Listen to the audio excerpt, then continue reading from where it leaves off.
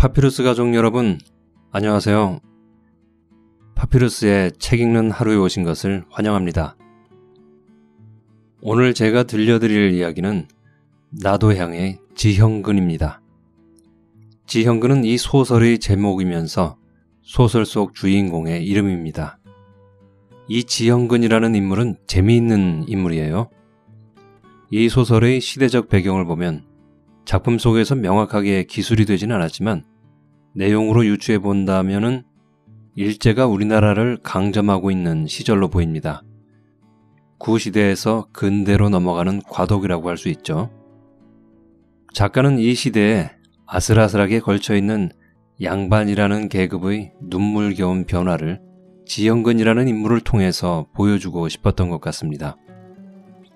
정신은 여전히 과거의 채통을 유지하려고 간신히 양반이라는 신분의 끈을 붙들려고 하지만 현실에선 빠르게 파괴되어 가는 생활의 바닥을 기어다니는 자신을 지켜봐야만 하는 상황입니다.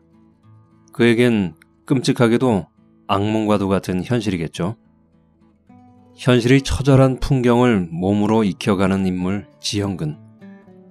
그의 앞으로의 삶은 어떻게 되어갈지 궁금증과 함께 그 과정을 흥미롭게 지켜보게 되는 소설입니다.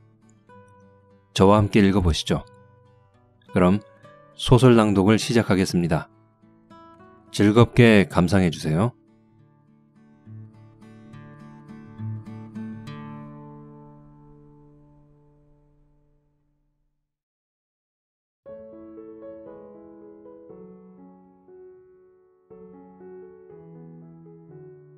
지형근 나도향 지형근은 자기 집 앞에서 괴나리 봇짐 질빵을 다시 졸라매고 어머니와 자기 아내를 보았다. 어머니는 마치 풀 접시에 말라붙은 풀 껍질같이 쭈글쭈글한 얼굴 위에 뜨거운 눈물 방울을 떨어뜨리며 아들 형근을 보고 목메이는 소리로 몸이 성했으면 좋겠다마는 섬섬약질이 객지에 나서면 오죽 고생을 하겠니. 잘 적에 더웁게 자고 음식도 가려 먹고 병날까 조심하여라. 그리고 편지해라. 하며 느껴온다. 현근이 젊은 아내는 돌아서서 부대로 만든 행주치마로 눈물을 씻으며 코를 마셔가며 울면서도 자기 남편을 마지막 다시 한번 보겠다는 듯이 훌쩍 고개를 돌려 볼 적에 그의 눈알은 이글뚱 말뚱한 꽈리같이 붉게 피가 올라왔다. 네, 네. 형근은 대답만 하면서 얼굴빛에 섭섭한 정이 가득하고 가슴에서 북받치는 눈물을 참느라고 코와 입과 눈썹이 벌룩벌룩한다. 독립 사람들이 그 집 문간에 모두 모여섰다. 어렸을 적 친구들은 평생 인사를 못 해본 사람들처럼 어색한 어조로 인사들을 한다. 어떤 사람은 체면치레로 말 한마디 던져버리고 그대로 돌아서 저쪽에 가 서는 사람들도 있지만은 어떤 늙은이는 머리서부터 쓰다듬어 내려 마치 어린애같이 볼기짝을 두드리면서 응, 잘 다녀오게. 돈 많이 벌어가지고 오게. 하, 기막힌 일일세. 자네 같은 귀골이 노동을 하려고 집을 떠나간다니. 자네 어른이 이 꼴을 보시면 가슴이 막히실 일이지. 하는 두 눈에서는 진주 같은 눈물이 괴어오르다가 흰 눈썹이 섬세하고 쌍꺼풀이 진 눈을 감았다 뜰 때 희끗희끗한 눈썹 위에는 눈물이 굴러 맺힌다. 노인이 우는 바람에 어머니와 아내의 울음소리는 더 잦아지며 독립집 노파들도 눈물을 씻고 젊은 장정들은 초상집에 가서 상제 우는 바람에 부질없이 나오는 울음을 참으려는 것 같이 코들만 들이마시기도 하고 눈만 씀뻑씀뻑하고 있다. 현근도 눈물을 씻으며 어머니께 인사를 하고 다시 독립 사람을 향하여 작별을 하였다. 자기 아내는 도리어 보는 것이 마음을 약하게 하여 주는 것이며 장부의 할 만한 짓이 아니라는 듯이 보지도 않고 돌아서서 동구로 향하였다. 동리 늙은이와 자별한 친구들은 뒤를 따라와 주며 어린아이들은 마치 출전하는 장군 앞에 선 군대들 같이 앞에도 서고 뒤에도 서서 따라온다. 현근은 가다가 돌아다 보고 또 가다가 돌아다 보았다. 얼만큼 오니까 아이들도 다 가고 따라오던 사람들도 다 흩어지고 자기 혼자 몸이 고개 마루턱에 올라섰다. 뒤를 돌아다 보니 자기가 살던 20여 호밖에 보이지 않는 촌락이 밤나무 느티나무 사이에 섞여 있다. 자기 집 앞에는 사람들이 흩어지고 어머니와 자기 아내만 여전히 자기 뒤를 바라보고 섰다. 그는 여태까지 나지 않던 눈물이 어디서 나오는지 폭포같이 쏟아진다. 아침 해가 깊은 듯이 잔디 위 이슬에서 오색빛을 반사하고 송장 메뚜기가 서 있는 간발 위에 반갑게 튀어오르나 그것도 보이지 않는다. 분홍 조거리에 남 조각으로 소매에 볼을 받아 입고 외 반물 치마에 부대 쪽 행주 치마를 입고 백납 비녀에 가짜 산호 반지를 낀 자기 아내 생각을 할째 스물두 살 먹은 이 젊은 사람의 가슴은 터질 것 같았다. 그는 한 발자국에 돌아서고 두 발자국에 돌아섰다. 멀리 보이는 자기 집은 아침에의 그늘이 비추인 산모퉁이에 가리어 보이지 않는다. 그는 오리쯤 가서 단념하였다. 내가 계집에게 마음이 끌려서 이렇게 약한 마음을 먹다니. 그는 마치 번개같이 주먹을 내흔들었다. 그리고 벌건 진흙이 묻은 발을 땅이 꺼져라 하고 더벅더벅 내놓았다. 그는 고개를 쳐들었다. 가슴을 내놓았다. 하늘은 한없이 높이 개었는데 넓은 벌판 한가운데 신장로로 나서니까 그 가슴 속에는 끝없는 희망이 차는 듯 하였다. 가면 된다. 이대로 가기만 하면 내 주먹에 지전 뭉텅이를 들고 온다. 그는 열을 갈 길을 하루에 가고 싶었다. 그때 강원도 철원군에는 팔도 사람이 다 모여들었었다. 그 모여드는 종류의 사람인즉 어떠냐 하면 대개는 시골서 소장농들을 하다가 동양 척식회사에서 소작권을 잃어버린 사람이 아니면 일확천금의 꿈을 꾸고 허욕에 덤빈 사람들이었다. 그것은 철원에 수리조합이 생기며 그 개강공사로 노동자를 사용하는 까닭도 있지만 금강산 전기철도가 놓이며 철원은 무서운 속력으로 발전을 하는 데 따라서 다소간의 금융이 윤택하여지며 멀리서 듣는 불쌍한 사람들의 마음들을 충동이어 나도 철원, 나도 평강 하고 덤비게 된 것이다. 노동자가 모이어 주막이 늘고 창기가 늘었다. 자본 있는 자들은 노동자가 많이 모여들수록 임금을 낮춰서 얼마든지 그들의 기름을 짜내었다. 그러나 그렇게 기름을 짜낸 돈은 또 주막과 창기가 짜내었다. 남은 것은 언제든지 빈 주먹이었다. 평화스런 철원읍에는 전기철도라는 괴물이 생기더니 풍기와 질서는 문란할 대로 문란하여졌다. 그래도 경상도, 경기도 여기저기 할 것 없이 모든 것을 잃어버린 불쌍한 농민들은 요행을 바라고 철원, 평강으로 모여들었다. 지형근도 지금 그러한 괴물의 도가니, 피와 피를 빨고 짓밟고 물어뜯고 볶는 도가니를 향하여 가며 가슴에는 이상의 꽃을 피게 하고 있는 것이나 마치 절벽 위에서 신기루에 홀려서 한 걸음 두 걸음 끝을 향하여 나가는 것이다. 그는 50리를 못 가서 발이 부르텄다. 그는 한 시간에 10리를 걸었다 하면 지금은 그것의 절반 오리도 못 걸었다. 그는 발 부르튼 것을 길가에 서서 찌끗찌끗 눌러보며 혼자 속으로 흥, 올 적에는 기차 타고 온다. 정거장에서 집까지가 오리밖에 안 되니 그때는 잠깐 걷지. 그러나 그는 주머니 속을 생각하여 보았다. 발병이 나지 않고 그대로 줄창 잘 걸어간다 해도 닷새나 돼야 들어갈 것이다. 그러면 주머니에 있는 행자는 얼마냐? 빠듯하게 쓰고도 남을지 말지 하다. 해는 져간다. 가슴에서는 공연히 무서운 생각이 났다. 만일 발병이 더하여 길을 못 가게 되면 어찌하나? 그는 용기가 줄어들고 희망에 구름이 끼는 것 같았다. 그는 비척비척 맥이 없게 걸어가며 궁리해 보았다.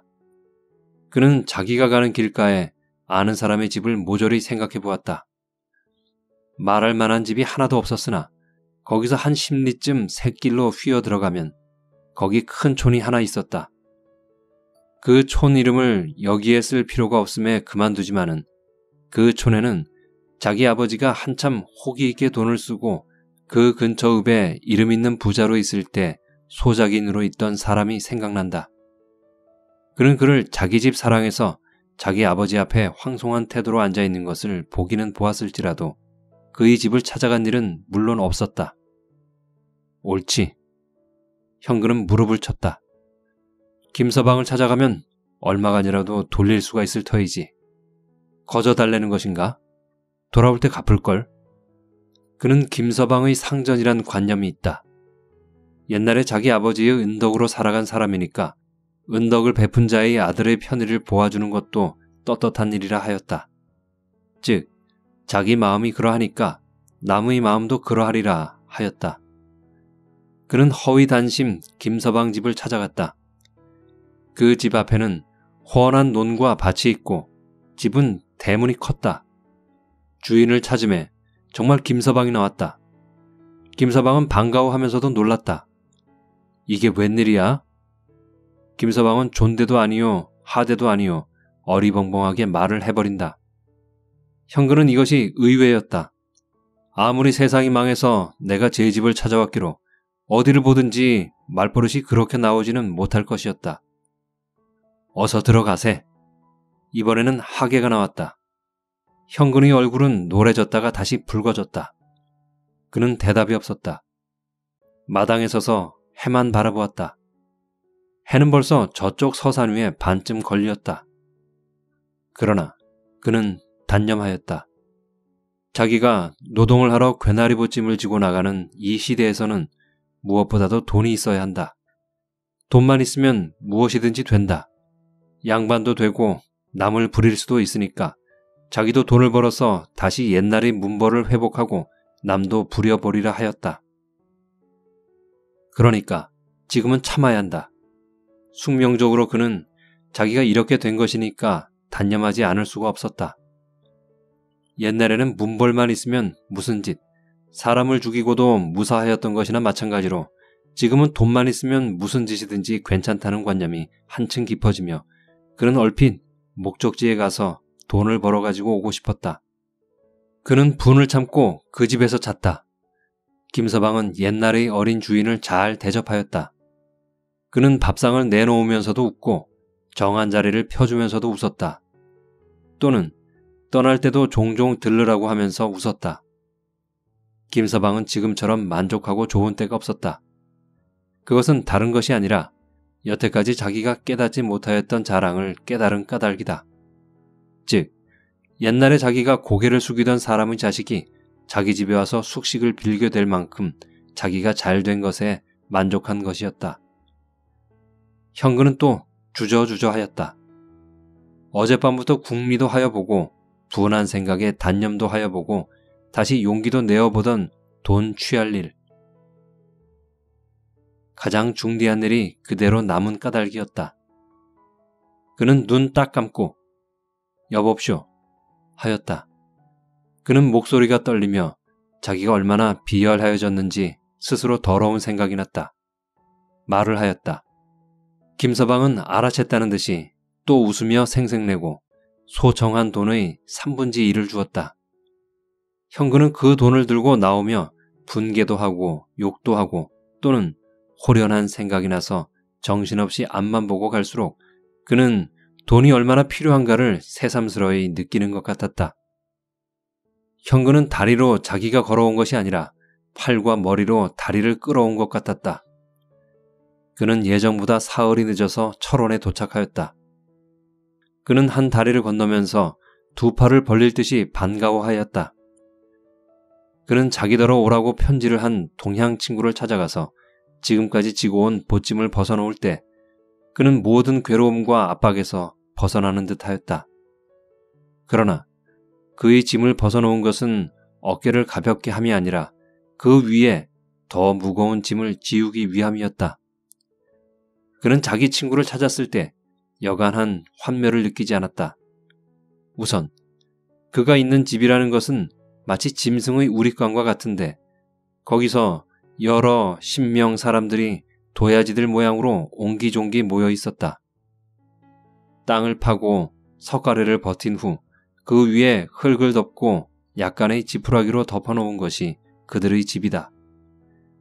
방 안에는 발에는 간발이며 다 떨어진 진흙 묻은 양말 조각이 흐트러 있고 그 속은 마치 목욕탕에 들어간 것 같이 숨이 막힐 듯한 냄새가 하나 가득 찼었다. 물론 광선이 잘 통할 리가 없었다. 캄캄하여 눈앞을 잘 분간할 수 없는 그 속에는 사람의 눈들만 이리 굴고 저리 굴고 하였다. 그는 손으로 더듬어서 그 속을 들어갔다. 발길에는 사람의 엉덩이도 채어지고 허구리도 건드려졌다.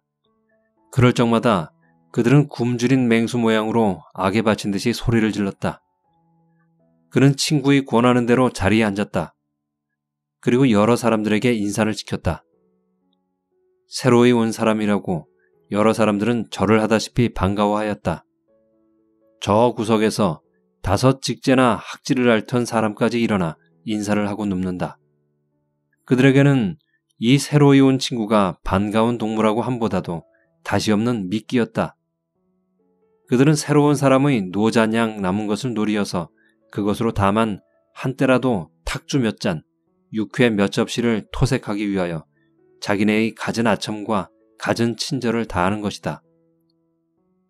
어떠한 사람은 동양 사람이라고 가까이 하려 하였다. 또 어떤 사람은 동성동본이라고 친절히 하였다. 또 어떤 사람은 어려서 자기 아버지와 형근의 아버지와 친하였다고 세교라고 늦게 만난 것을 탄식하였다. 이래서 형근은 처음 이 움 속에 들어올 적에 느끼던 환멸이 어느덧 신뢰하는 마음과 이상과 기쁨으로 가득 차버렸다. 그날 저녁에 노잡은 남은 곳으로 그 근처 선술집에서 두 서너 사람과 탁주를 먹으며 편지하던 친구에게 물었다. 자네는 그동안에 돈 좀 모았나? 아직 모으지는 못하였네. 그러나 이제 수 생길 일이 있지. 친구는 당장의 수만금 재산을 한 손에 움켜쥘 듯이 말을 하였다. 그것도 그럴 것이 그는 아직까지도 황금 덩어리가 멀지 않은 장래에 자기 손 속에 안이 들어올 리가 없으리라고 생각하는 까닭이다. 설마 천리 타양까지 나왔다가 맨손 들고 들어가겠나? 지금은 좀 고생이 되지만은 그래도 잘 부비대기를 치면 돈 몇백 원쯤이야 조반전에 해장하기지. 형근은 또 가슴속이 든든하여지며 이번에는 걸쭉한 말걸리는 그만두고 입 가볍고 상긋한 약주를 청하였다. 그러나 저러나 여러 형님네가 저를 위해서 어떻게 힘을 좀 써주셔야겠습니다. 형님들은 저보다야 경험도 많으시고 또 그런데 길도 좋으실 테니까요. 형근은 눈이 개슴츠레해서 안주를 들며 말을 하였다. 아따, 염려 마시우. 내나 그 형이나 이런 데 와서 고생하기는 마찬가지인데 서로 형제나 친척같이 생각할 것이 아니오. 그 중에 머리 깎고 지카디비 신고 행전친 노동자가 대답을 하였다. 그럼 전 형장만 꼭 믿습니다. 글쎄, 염려 말아요. 그날 저녁 그는 여러 가지 진기한 것을 보았다. 번화한 시가도 보고 또 술 파는 어여쁜 계집도 보았다. 그리고 여기서 쓰는 말이며 습속을 배웠다. 그는 어리둥절한 가운데서도 속이 느긋하고 만족하여 그대로 하루 저녁을 그 움속에서 자고 났다. 그는 고린내나는 발이 자기 코 위에 올려놓이고 허구리를 장작개비 같은 발이 들이질러도 그것이 화가 나지 않고 그 여러 사람을 오히려 동정하고 불상타하는 생각을 가졌었다. 이들도 지금에는 이렇게 고생을 하지만은 나중에는 모두 돈들을 벌어가지고 고향으로 돌아가면 호강할 친구들이라고 생각하였다. 그 이튿날 새벽 5시가 되더니 그같이 자던 사람 중에서 서너 사람은 눈을 비비고 어디로인지 가는 것을 보았다. 그는 어제 자기가 올 적에도 보지 못한 사람이요. 또는 어느 틈에 들어왔는지도 알지 못하는 사람들이었다. 그가 나갈 적에 누구 한 사람 인사하는 일도 없고 눈 한 번 거들떠보는 사람도 없었다. 그들이 나갈 적에 부산한 바람에 옆에 사람들이 잠을 깨었다가 그들이 다 나가는 것을 보고 갓나왜 자식들. 나가면 곱상슬이 나갈 것이지. 하고 투덜대는데 그의 눈은 무서웠다. 마치 두었다 만나자는 원수를 벼르는 것 같았다. 형근은 그것을 보고 그와 눈이 마주칠까 보아서 눈을 얼핏 감고서 아무리 생각하여 보아도 그러할 리가 없었다. 자기에게는 그렇게 친절히 하던 사람들로는 결단코 하지 않을 일이었다. 그는 그 노동자의 질투를 몰랐으므로 이런 의심을 품었었으나 누구든지 이러한 사회에 있으면 그렇게 험상스럽게 될 수 있을 것을 몰랐던 것이다. 그가 다시 실눈을 뜨고 방안을 슬그머니 둘러볼 적에는 젖들여 놓은 쌀이 거정문으로 아침 햇살이 붉은 빛을 띠고 들이비치는데 그 해가 비치는 쌀이 거적 위에서는 아까 그 불량한 노동자가 코를 땅에다 대고 코를 고는 바람에 땅바닥의 먼지가 펄썩펄썩 일어났다.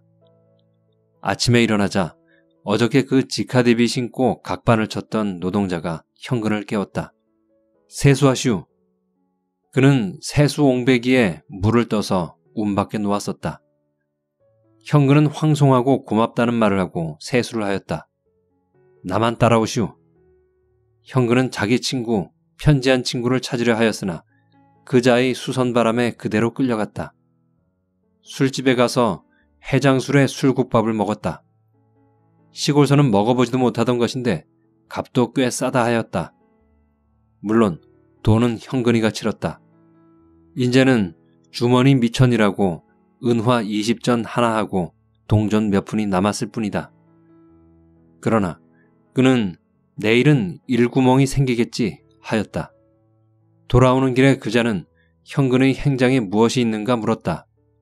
그는 조선 무명 호도 두 벌과 모시 두루마기 두 벌과 삼승 버선이 한 벌 있다 하였다.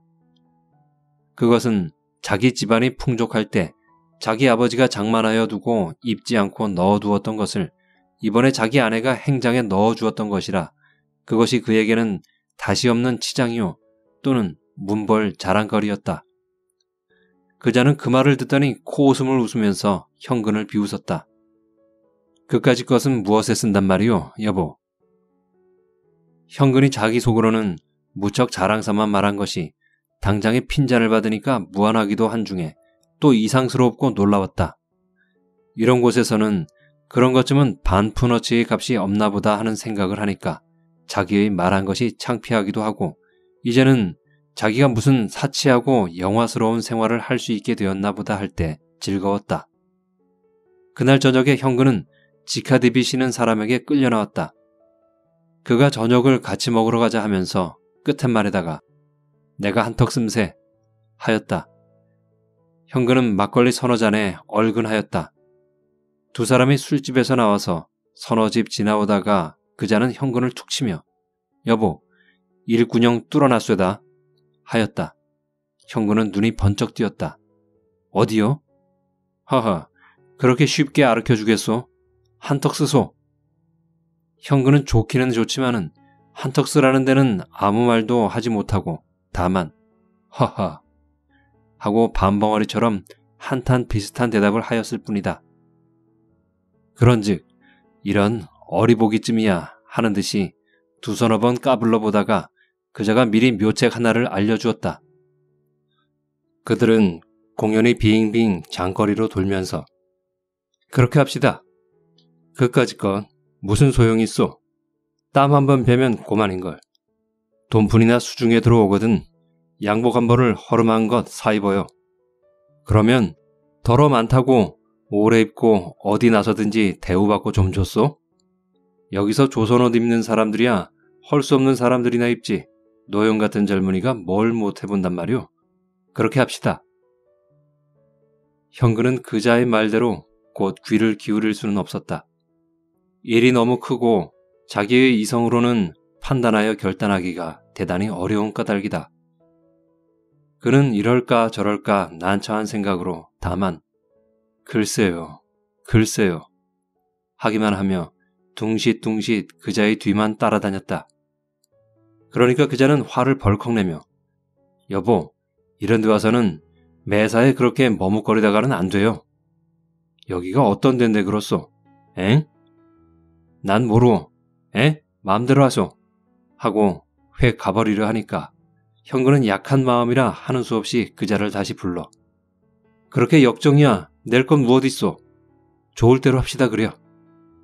글쎄, 좋을 대로 누가 하지 않는댔소? 노영이 자꾸 느리배기를 부리니까 그렇지. 옷을 팔았다. 형근은 친구에게 끌려서 어떤 앉은 술집으로 들어갔다. 그 친구가 두루마기 판 것을 자기 손에 쥐어줄 줄 알았더니 그것도 그렇게 하지 않고 첫걸음에 가는 곳은 이화라는 여자가 술을 파는 내외 술집이었다. 나만 따라오시오. 내 어여쁜 색시 구경을 시켜줄 터이니. 어깨가 으쓱하여지며 두 눈을 찡긋찡긋하는 그자의 뒤를 따라가며 어여쁜 색시라는 말을 들으니까 속으로는 당길 심도 없지 않았으나 첫째, 노는 계집 옆에를 가보지 못한 것은 말할 것 없고 그런 종류의 여자라면 겁부터 집어먹을 줄밖에 모르는 그는 가슴이 두근두근 하여질 뿐이다. 이런 데를 오면은 계집 다루는 것도 배워야 합니다. 현근이 쭈뼛쭈뼛하는 것을 보고 그자는 속으로 네가 아직 철이 안 났구나 하는 듯이 코웃음 섞어 말을 하였다. 현근은 그래도 속에는 빳빳한 맛이 있어서 그자에게 멸시를 당하는 것이 창피도 하고 분하기도 하나 사실 뻗댕길 자신도 없었다. 그는 그저 우물쭈물하며 그 뒤를 따라갈 뿐이다. 그렇지만 따라가기는 하면서도 몹시 조심이 되고 조마조마한 생각이 나며 자기 몸에 창피한 곳이나 없나 하는 생각이 나서 걱정이었다. 마루 앞까지 서슴지 않고 들어선 그자는 여보, 술 파우? 하고 소리를 높여 제법 의젓하게 주인을 부르더니 서투른 기침을 하였다. 안방에서는 여러 사람들이 술이 취하여 장거리의 장꾼들처럼 제각기 떠들다가 그 소리에 떠들던 것까지 뚝 그쳤다. 그 왁자하던 무딘 남자들이 거친 목소리를 좌우로 물결 헤치듯이 쫙 헤치고 복판을 타고 나오는 연한 목소리는 주인의 목소리였다. 네, 나갑니다. 이 소리를 듣더니 그자의 눈은 끔뻑하여졌다. 그러더니 현근을 한번 본 후에 이건 손님이 왔는데도 아무도 없소? 하고 짐짓 못 들은 채 하고 이번에는 더 높은 소리를 질렀다. 나갑니다. 하고 그 여자는 소리를 질렀다. 그러더니 문이 열리며 그 여자의 치맛자락이 문에 스치며 나오는 것이 보였다. 어서 오십시오. 저 건너방으로 들어가시지요. 현근의 눈에는 머리를 치 거스러 빗어 외밀치를 하여 지르르 흐르게 하고 회박 스듯 분을 바르고 감 낮은 연지를 입에다 칠하고 금리한 이 사이에서 껌을 딱딱 씹으며 나온 그 이화라는 여자가 몹시 아름답게 보일 뿐 아니라 지르시는 버선까지 유탕한 마음을 일으키게까지 하였다. 그자는 이화라는 여자를 보더니 오래간만일세 그려 하며 그 손을 잡았다. 그것은 나는 이렇게 이런 이와 같은 미인과 능히 수작을 하며 손목을 잡을 만한 자격과 수단이 있다는 것을 지영근에게 자랑하고 싶었던 것이었다. 글쎄요. 이화라는 여자는 아무렇지도 않은 머리를 다시 만지면서 맞듣지 않게 네가 웬 허개냐 하는 듯이 시덥지 않은 어조로 대답을 하여 버렸다. 그런 게 아니라 이 친구하고 술이나 한 잔 나눌까 해서 왔지. 연해 생색을 내려고 하면서 이화에게 아첨을 하려는 듯이 쳐다본다. 어서 건넌방으로 들어가세요. 두 사람은 건너방으로 들어갔다. 그자는 슬그머니 현근을 보더니 어떻소? 괜찮지? 소리 한번 시킬 터이니 들어보시오. 상을 들고 이화가 들어왔다. 현근의 눈에는 내외 술집에서 한순배에 4, 50전 하는 술상이 얼마나 풍부하고 진미인지 몰랐다. 그는 어려서 자기 집이 상당한 재산을 가지고 지낼 적에도 이러한 음식을 자기 앞에 차려주는 것을 먹어본 일이 없었다. 그는 구미가 동하기보다는 덜컥 가슴이 내려앉았다. 이 비싼 술값을 어떻게 치를까? 그는 속이 초조해지면서 겁이 났으나 나중에는 그자를 믿었다. 믿었다는 것보다는 내가 아니? 너 알아 하겠지? 하는 마음이 나기는 났으나 그래도 속이 편치는 못했다. 우선 술잔이 자기에게 돌았다. 현근은 마치 나무이집 부인을 보는 것 모양으로 그 여자를 바라보지 못하다가 술잔을 들면서 바로 보았다. 형근은 그 술 붓는 여자를 이제야 비로소 똑바로 보았다 하여도 거짓말이 아니었다.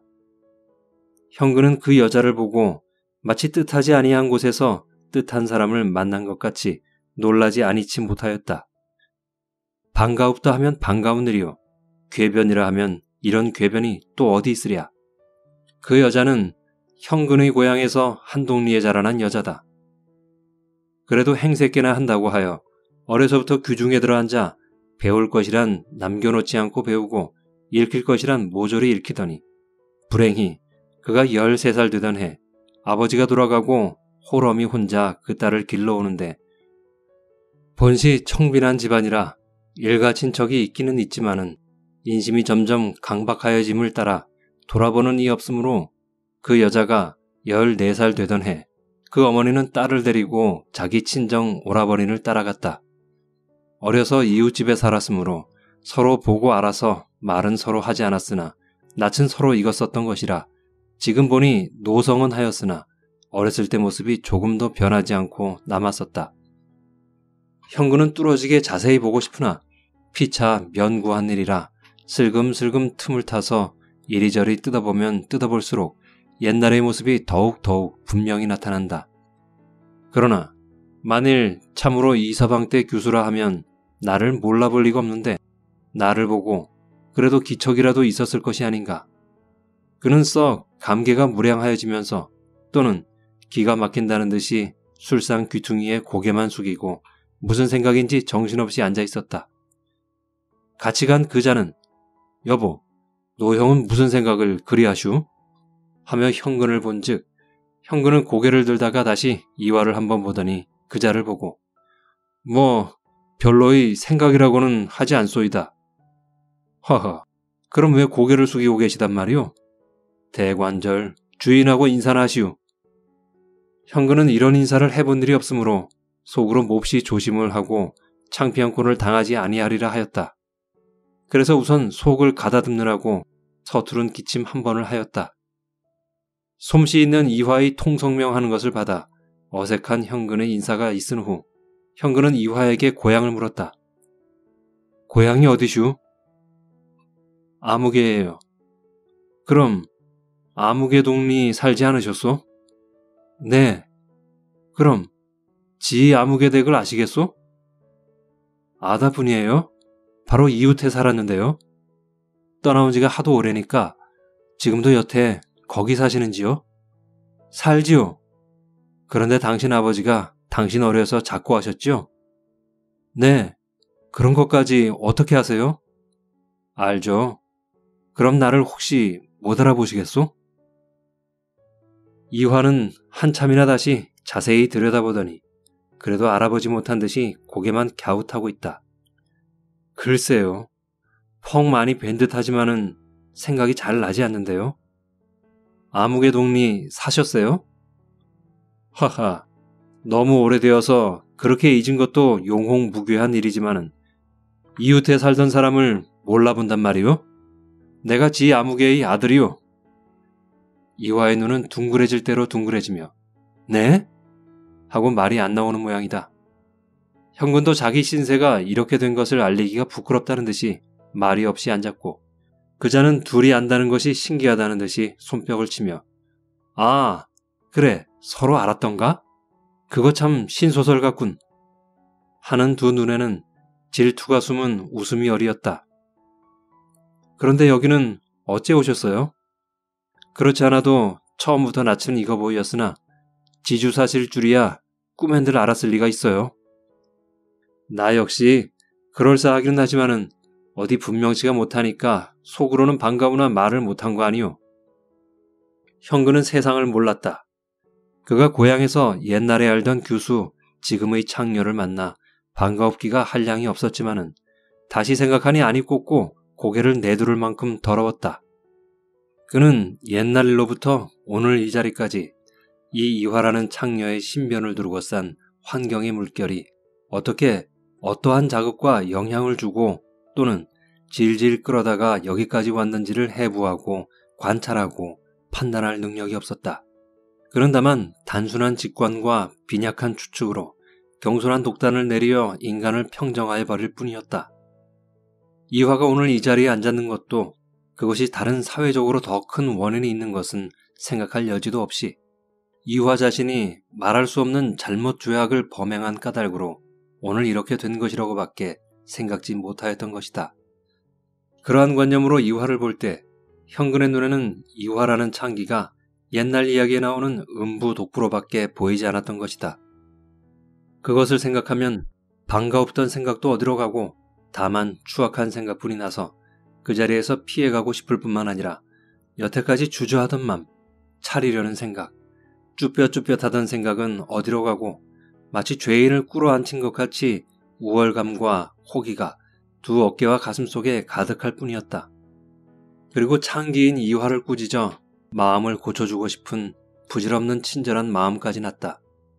자기의 영락, 얼핏 말하면 타락은 어느 정도까지 당연한 일이는지 알지 못하나 첫째, 돈 많고 땅 많고 입을 것, 먹을 것이 많던 지 아무개의 외아들이 철원 바닥에까지 굴러와서 노동자 중에도 그중 엉터리하고 얼리어 한순배에 4, 50전짜리 술을 사 먹으러 왔다는 것은 이화라는 여자가 얼핏 생각하기에는 그렇게 의외의 일이 없을 것이다. 자기가 이렇게 된 것을 그 사람에게 보이는 것도 부끄러운 일이 아닌 게 아니지만은 그 부끄러움까지 지나쳐서 지 아무개의 아들의 일이 알고 싶지 않은 것도 아니었다. 술잔을 들고 의기 있게 자기가 계집을 기롱하는 솜씨를 보여 상대자를 위협하려던 그 자는 두 사람이 서로 동향 친구라는 이유로 자기 같은 것과는 서로 말할 여지가 없이 이상한 감격과 비극적 분위기에 쌓여 있는 것을 보고 자기도 그 분위기 속에 참가를 하든지 그렇지 않으면 그 분위기를 헤쳐버리고 다른 기분을 만들어야 할 것을 깨닫고 말을 꺼내었다.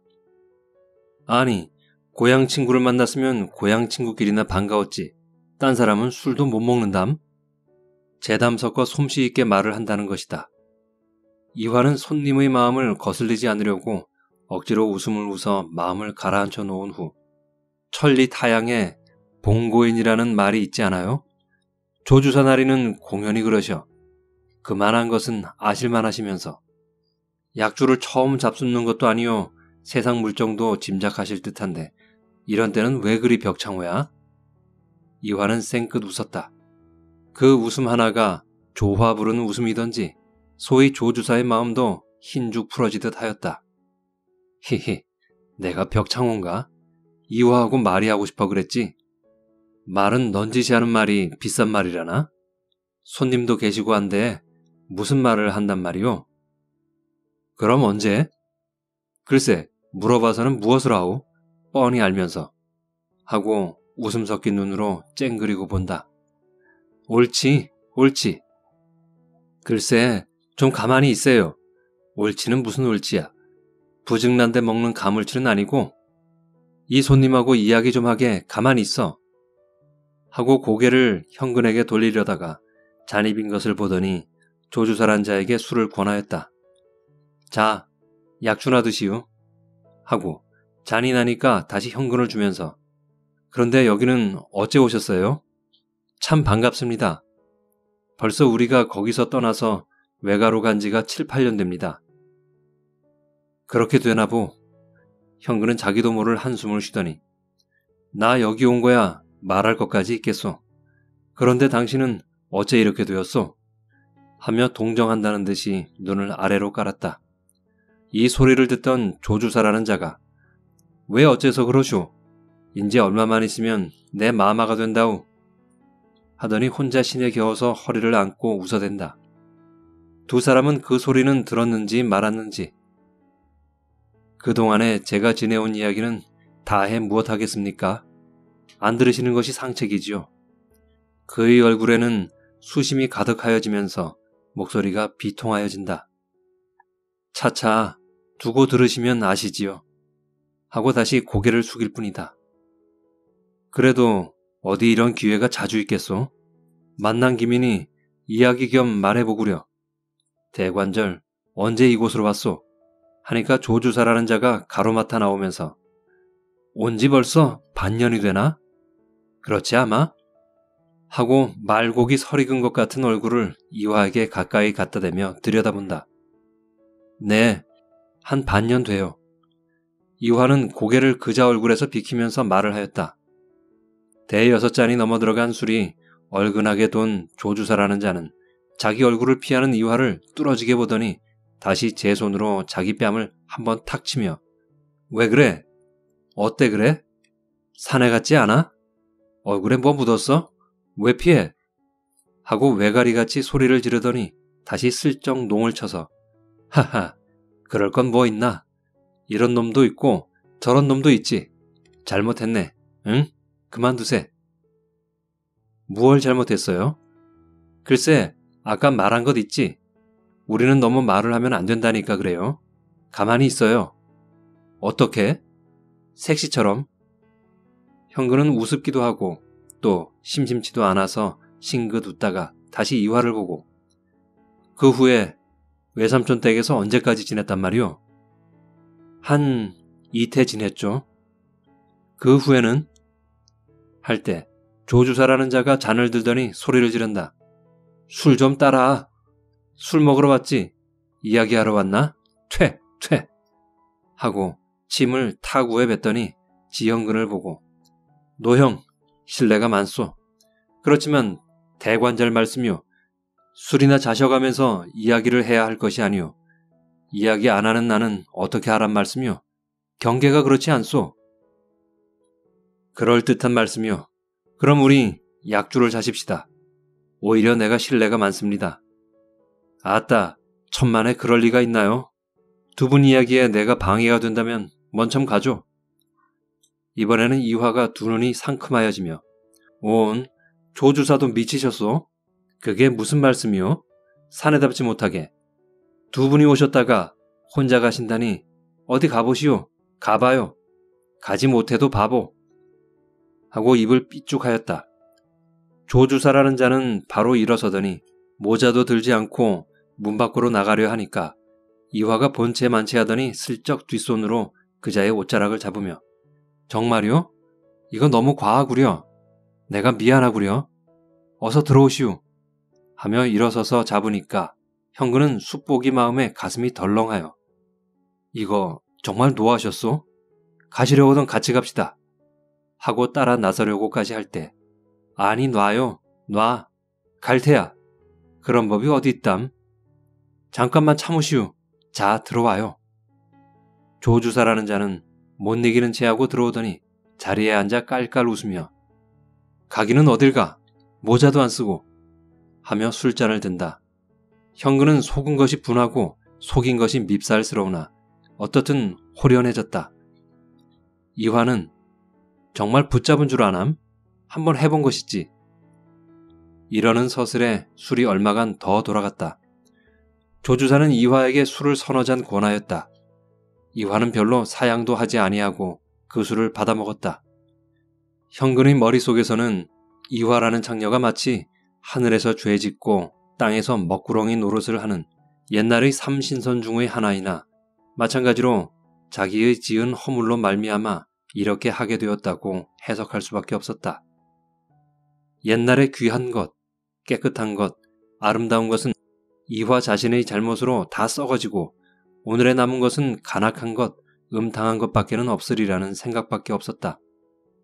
즉, 이화는 옛날의 아무개의 딸의 죄악의 탈을 쓴 화신이다. 착한 자는 언제든지 착하고 악한 자는 언제든지 악하다. 그것은 날적에 타고난 숙명, 즉 팔자다. 이것이 그의 인생관이다. 그러므로 이화는 팔자를 창기로 타고났으므로 그는 언제든지 창기밖에 못 된다. 그의 가슴 속에나 피 속에는 다른 것은 조금이라도 섞였을 리가 없었던 것이다. 현근도 술기운이 돌면서 얼기설기하게 척척 쌓였던 감정이 흥분됨을 따라서 마치 초가집 장마 버섯 모양으로 떠올라오기를 시작하였다.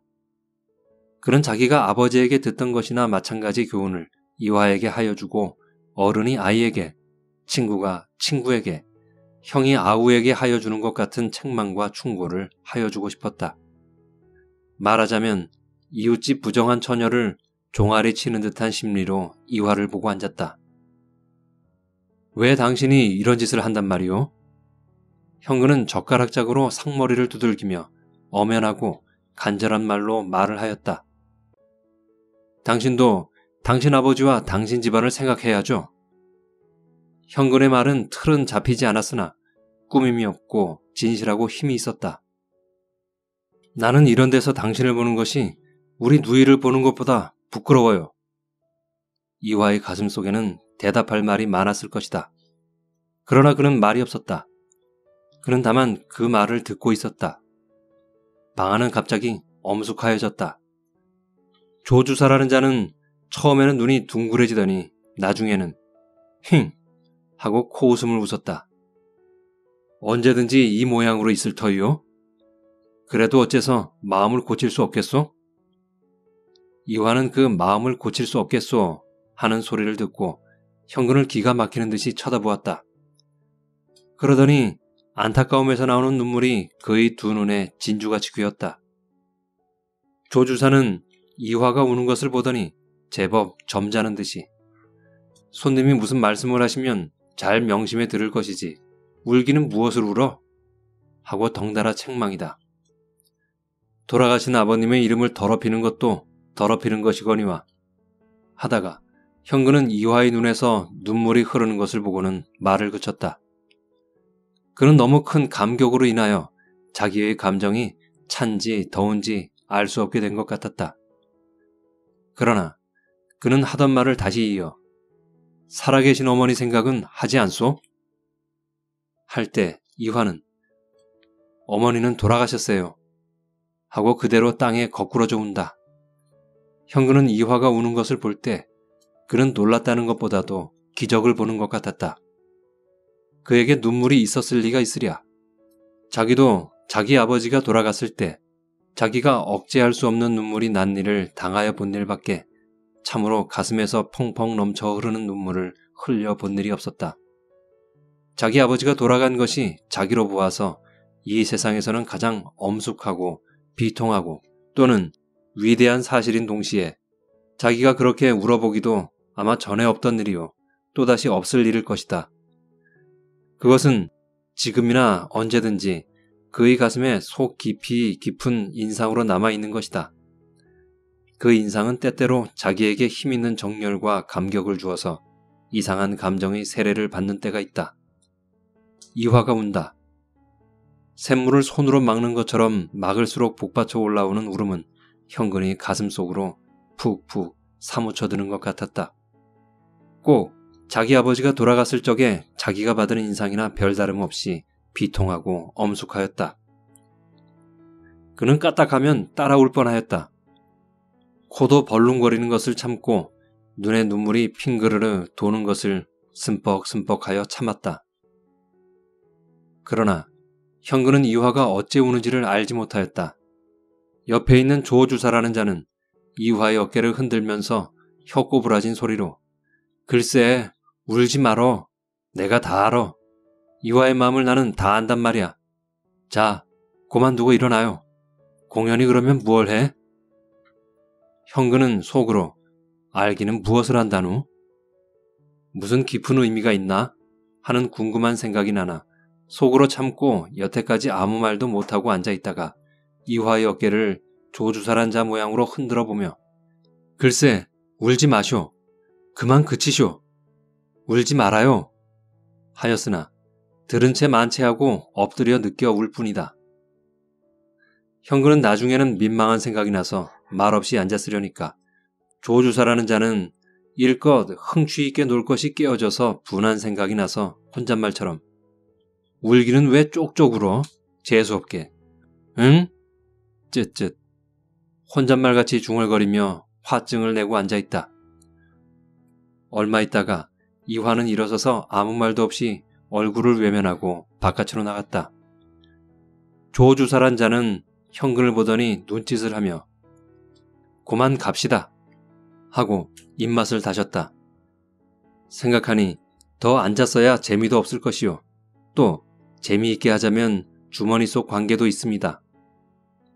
현근은 이 말을 기둥에 받은 듯이 웬일인지 알 수가 없어서 멀거니 앉았다가 그대로 고개만 끄덕끄덕하고 네 하였을 뿐이다. 그렇지만 형근은 알 수가 없다. 어째서 창기인 이화의 눈에서 눈물이 났으랴. 얼마 있다가 이화는 손을 씻고 들어오며 머리 단장을 다시 하였다. 조주사라는 자는 일어서며 셈을 하였다. 왜 그렇게 가세요? 제가 너무 신뢰를 해서 그러세요? 하며 미안해한다. 조주사라는 자는 입에 달린 치사로 아니 그럴 리가 있나 다음에 또 오지 하며 마루에서 내려섰다. 형근은 여전히 큰 수수께끼를 품고 조주사의 뒤를 따라 내려갔다. 조주사는 문 밖에 나섰다. 현근이 마당에서 중문으로 나갈 때 이화는 넌지시 쉬 한번 조용히 놀러 오세요 하였다. 현근은 대답을 한둥 만둥 바깥으로 나왔다. 조주사는 현근을 보더니 아주 재미없었어 하며 입을 찡그린다. 현근은 재미가 있고 없는 것은 그만두고라도 이화의 눈물이 해석할 수가 없어서 대관절 이화가 왜 그렇게 울우? 하고 물으니까 조주사라는 자는 손가락질을 하며 혀끝을 채고 허는 수 없어. 의뢰 그런 계집들이란 그런 것이 아뇨? 아마 노형이 전에 잘 살았다니까 지금도 전 같은 줄 알고 그러는 게지. 돈 먹으려고? 암, 어떻게 그런 데서 구해나 줄까 하고 그러는 게 아뇨? 구워다니요? 지금은 팔려와 있지 않소. 현근은 조주사라는 자가 어디 잠깐 다녀가리다 하고 새길로 슬쩍 빠져버리는 것을 꼭 다녀오시오 기다릴 터이니 하고 어슬렁어슬렁 술에 풀린 다리를 좌우로 내놓으며 큰 길거리를 지나갔다. 길가에는 전기등으로 휘황히 차린 드팀전, 자파상, 더구나 자기의 평생 한번 가져보고 싶은 자전거가 수십 대 늘어니 놓인 것이 눈에 어른어른하여 불같은 호기심이 일어나서 그 앞에 서서 그것을 구경도 하다가 다시 돌아서며 내 돈만 모으면 꼭 한 개 사서 두고 탈 터이야 하며 그는 주먹을 주며 결심을 하고 머릿속으로는 자기 시골에서 때때 자전거 타고 다니는 면석이를 보고 부러워하던 생각을 하였다.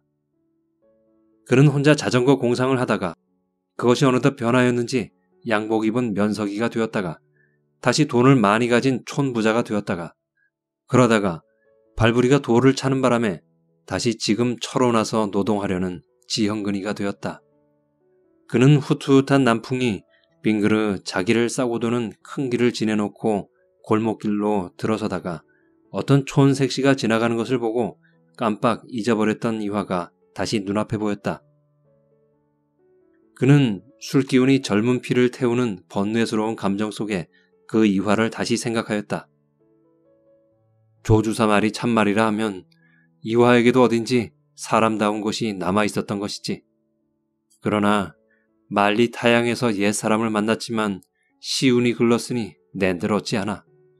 하며 개탄하는 마음으로 얼마를 걸어가다가 그러나 누가 창기 여자의 울음을 고지 생각을 한담?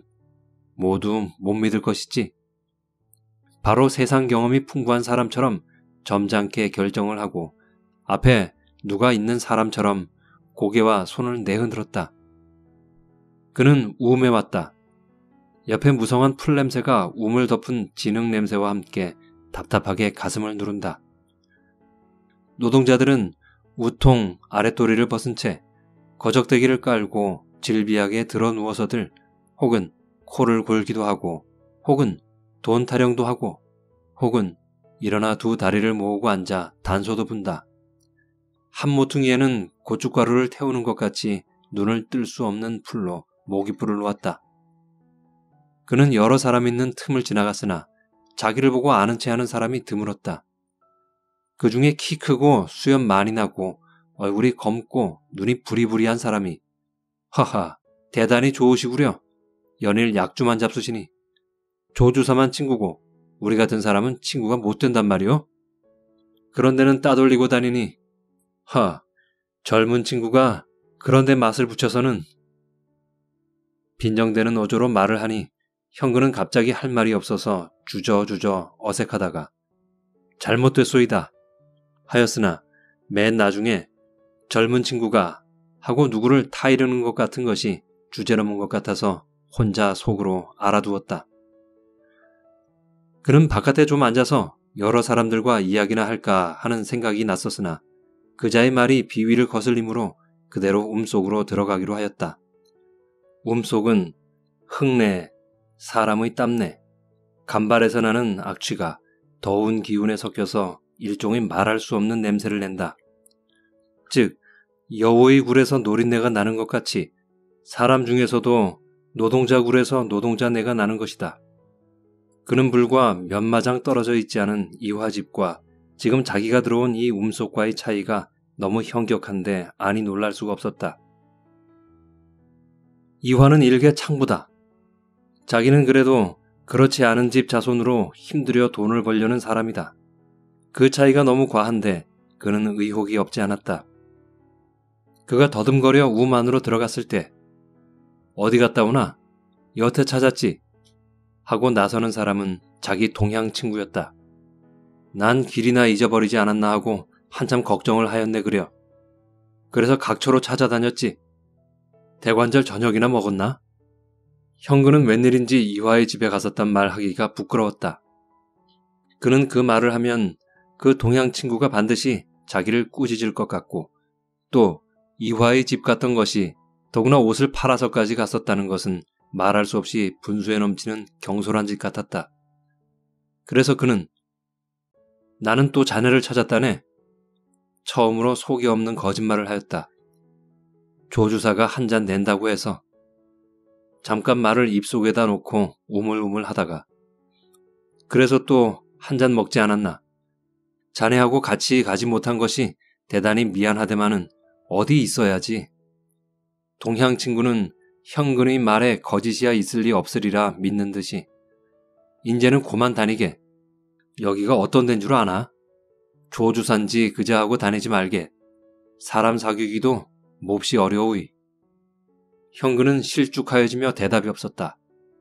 속으로 생각해 대체로는 그 친구의 말이 옳은 말이지만은 조주사 같은 친구와 사귀지 말라는 데는 도리어 동양 친구에게 질투가 있는가 하여 적지 않이 불목이 있었으나 말로는 나타내지 않았다. 그는 말이 없이 한 귀퉁이를 비비고 드러누웠다.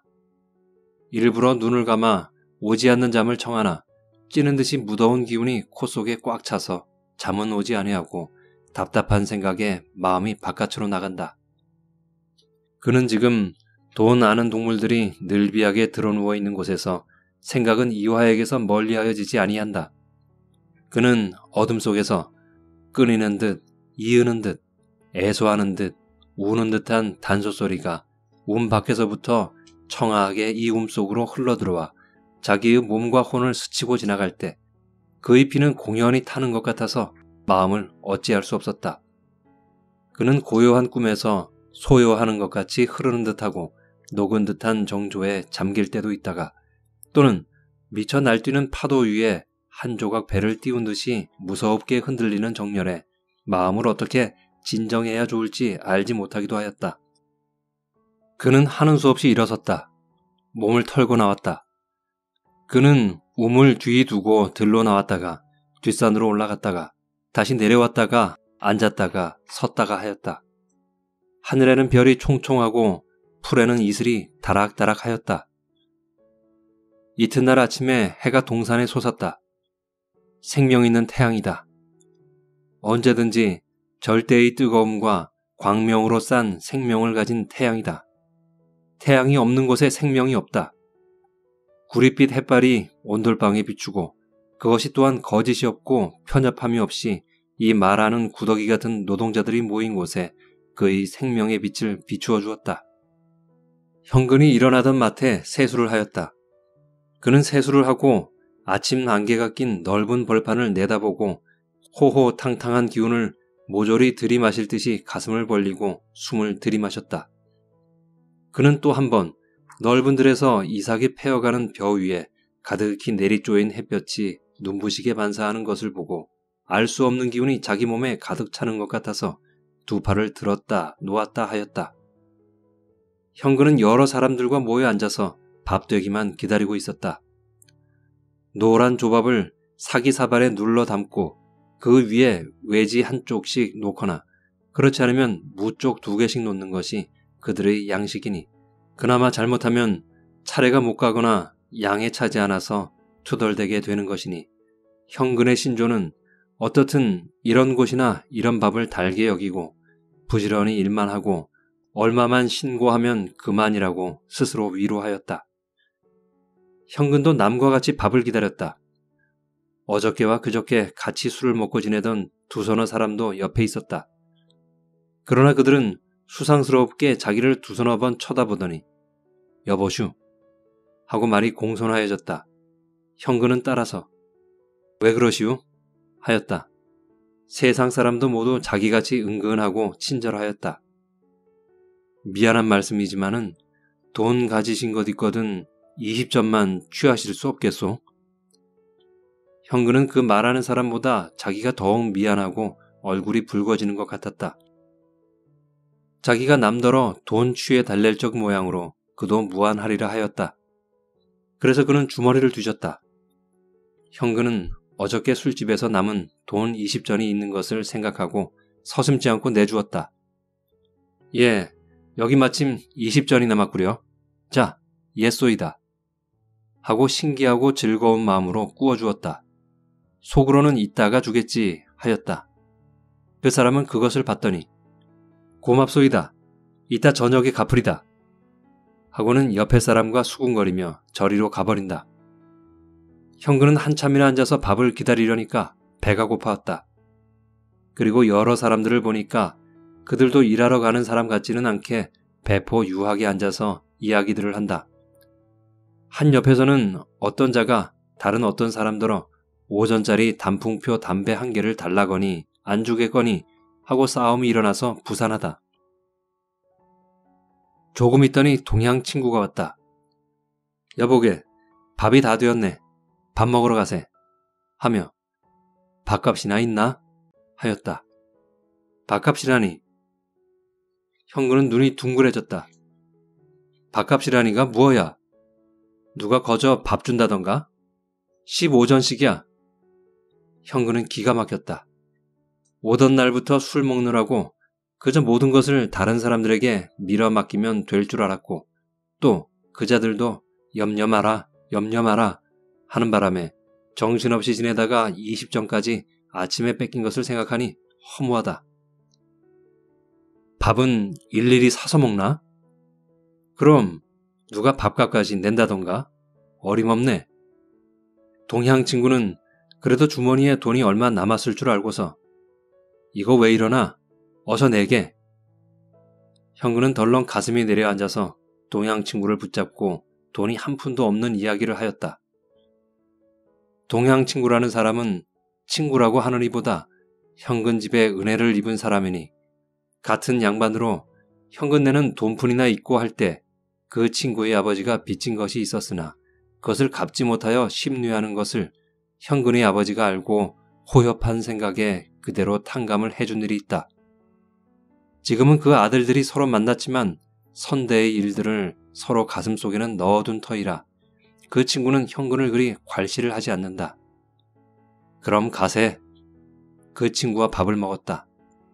그러나 현근은 신세밥 같아서 먹고 나서도 몹시 미안하였다. 아침을 먹더니 그 친구가 현근을 보고 이르는 말이 누가 어디를 가자거나 일꾼형이 있다거나 도무지 듣지 말게 하고 점심값을 주고 가버렸다. 그는 공연히 왔다 갔다 하며 혼자 심심히 지낼 뿐이다.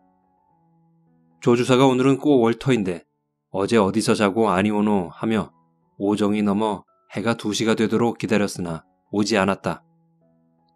그는 한 옆으로 밥 먹을 구멍이 얼핏 생겼으면 좋을 텐데 하는 걱정과 또 조주사나 왔으면 모든 것을 의논하여 보겠다 하고 기다리는 마음도 마음이려니와 또 한 가지는 이화의 울던 꼴이 생각나고 또는 은근히 한번 오라고 하던 말이 어떻게 박혀 들렸는지 잊을 수가 없다.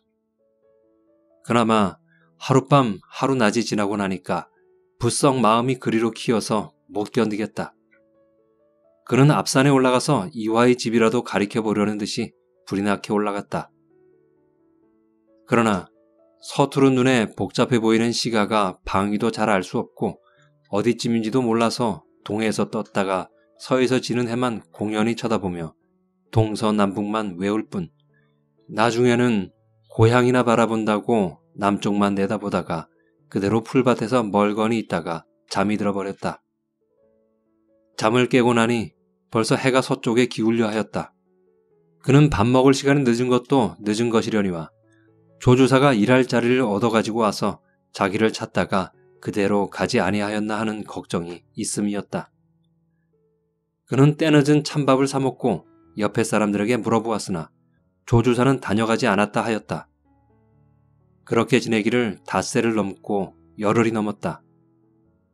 조주사라는 자는 장거리에서 한두 번 만났으나 코웃음을 치고 우물쭈물 얼렁얼렁하고 획 피해버릴 뿐이요.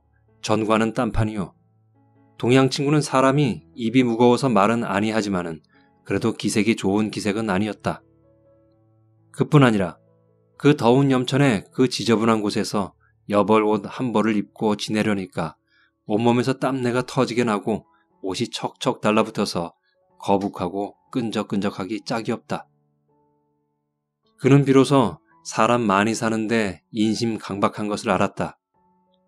아무도 자기를 위하여 힘써주는 이 없고 더구나 서로 으르렁대고 빼서 먹으려고 하는 것뿐인 것을 알았다.